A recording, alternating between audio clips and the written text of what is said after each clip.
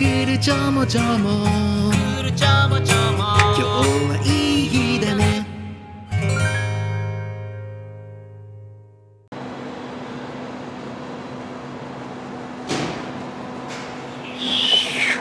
はいズドン。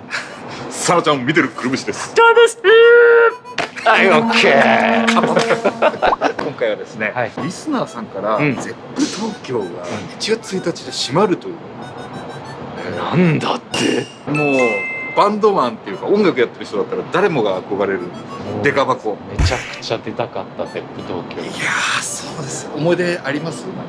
ゼップ東京には思い出ない。アナルに入れたエネマグラ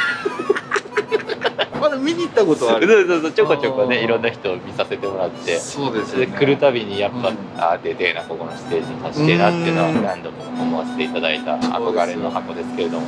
閉店ですか？いやーちょっとここまで来たかっていうねコロナ禍が。まいいよ。いねやー憧れですよ。ということでね来ちゃいましたね、もうこのために来ちゃいましうん、このために来ちゃいました、はい。じゃあちょっと一回入り口とかにも行ってみましょうか。ちょっと2階から入り口に降りてきましょうか。たはい。胸がギュッとなりますけれども今日はただただ ZEP 東京を映すだけの動画になってしまいますが、はい。え行きましょう。はい。はい。レディゴー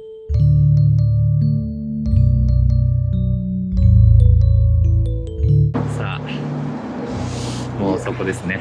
いやーちょっとねもう見るのも辛いですよねやっぱこのロゴ。憧れのロゴ。ZEP 東京。ー素晴らしいよね。本当にね。やっぱりこうなんて言うんだろう。俺らがやってるライブのやっぱ3段ぐらい上のなんか函館だな。もうね。帽子。帽子が落ちちゃったよ。じゃあね帽子拾いがてらちょっと下の入り口のとこにもね行ってみようかなと思います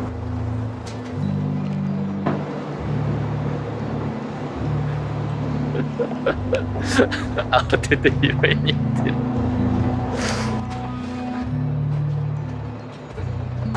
帽子あった？もう気持ちも帽子も落ちてます。ちょっとね最後入り口行ってみますか。うわーめっちゃ懐かしい。俺ちょっとスタッフで働いたこともあってなるほど。見に行ったことももちろんあります、うんうん。ということでゼップ東京入り口クルチャモチャンネルとゼップ東京の絵はこれで最後かもしれない。そうだね。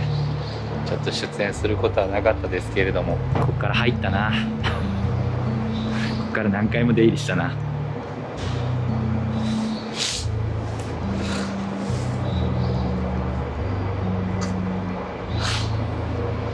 あごめんおっててもじゃ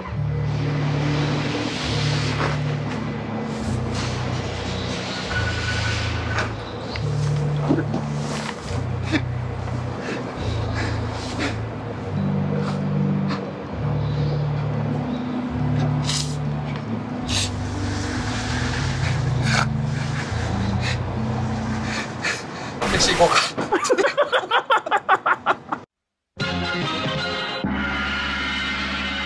冗談はさておき冗談はさておきね。はい、あの本当に ZEP 東京で、えー音楽の青春というか、えーたくさん教えてもらった、えー場所です。本当に今まで、えー、ZEP の皆さんお疲れ様でした。お疲れ様でした。まあ新天地のねうん。頑張っていただきたいっていうのそうですね。まあ他にもねゼップなんかたくさんあるんで、うん。まあ、他のゼップでも頑張っていただいて僕らもいつかねゼップ東京出演はかなわなかったけど他のゼップにお。いつか出れるように。お。いいですね。クルションミーティングね頑張っていきますのではい。今後もよろしくお願いします。お願いしそれでは今日は憧れの地 ゼップ東京で空調の決意が語っていたでしたね最終的に。ZEP 東京お疲れ様でした。お疲れ様でした。ありがとうございました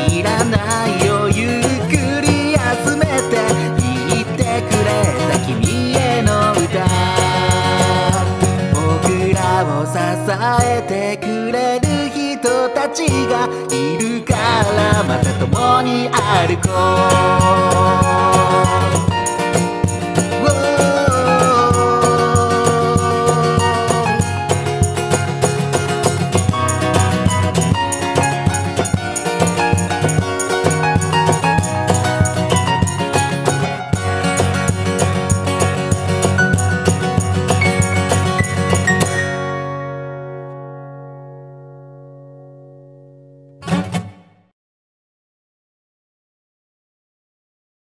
撮影5分で終わった